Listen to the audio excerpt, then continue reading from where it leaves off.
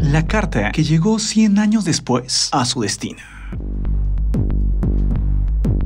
En febrero de 1916, una carta fue enviada.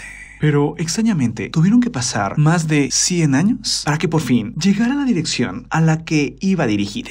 Obviamente, cuando llegó, la gente que la recibió quedó muy sorprendida, completamente desconcertada. Y es que estaban descubriendo un secreto de más de 100 años. La carta era muy personal e iba dirigida a mi querida Katie. Esto a una dirección, la cual es un apartamento de Crystal Palace, en una zona ubicada en el sur de Londres. Lo fascinante es que el servicio de correos británico, el famoso Royal Mail, tuvo que reconocer que no sabía cómo había pasado esto. Este misterioso y extraño caso. Sí, nadie sabía cómo una carta permaneció tantos pero tantos años sin poder ser entregada. La carta era dirigida a una mujer llamada Katie Marsh, quien se sabe era esposa de un comerciante de sellos. Es por eso que la frase mi querida Katie dejaba ver lo íntimo de la carta.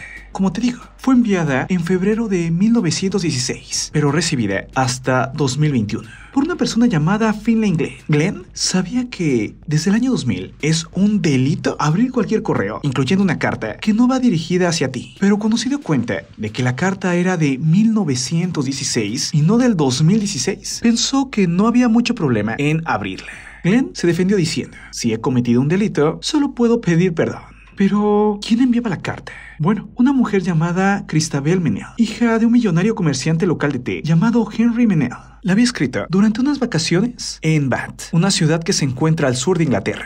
La carta había sido escrita a su querida Katie, quien como te comento, era la esposa de un comerciante de sellos, el cual se llamaba Oswald March. En la carta, Christabel, que era quien la había enviado, le decía a Katie que se sentía bastante avergonzada de sí misma después de haber dicho lo que dijo, y que también se sentía muy miserable como consecuencia de un resfriado muy fuerte que había tenido. Ahora bien, el correo de Reino Unido comentó que incidentes como este ocurren muy poco y que en este caso no saben qué es lo que ocurrió. ¿Cómo pudo haber sido posible que una carta fue entregada 100 años después? Esto nos hace reflexionar sobre la gente que vivió antes de nosotros. ¿Cuántos fueron? Millones. ¿Qué historias vivieron? Tristes y felices. Y ahora ya han sido olvidados. Es por eso que hay dos aprendizajes. El primero, haz lo que quieras con tu vida. Porque al final, dentro de algunos años, nadie se va a acordar de ti. Pero, por otra parte, todas esas personas que vivieron antes de nosotros y que parecen olvidadas, están dentro de nuestra sangre y marcaron nuestra propia existencia. Gracias a ellos, existimos nosotros. Y aunque te repito, están olvidados, estarán con nosotros para siempre. Y es que todos los que vivieron antes que nosotros marcaron el camino de nuestra propia existencia. Por eso no hay que olvidarlos, porque sí, hubo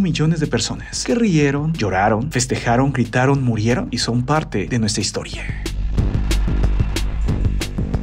Yo soy Marco Antonio C. y esto es Demente. Nos vemos pronto. Un abrazo fuerte. Bye.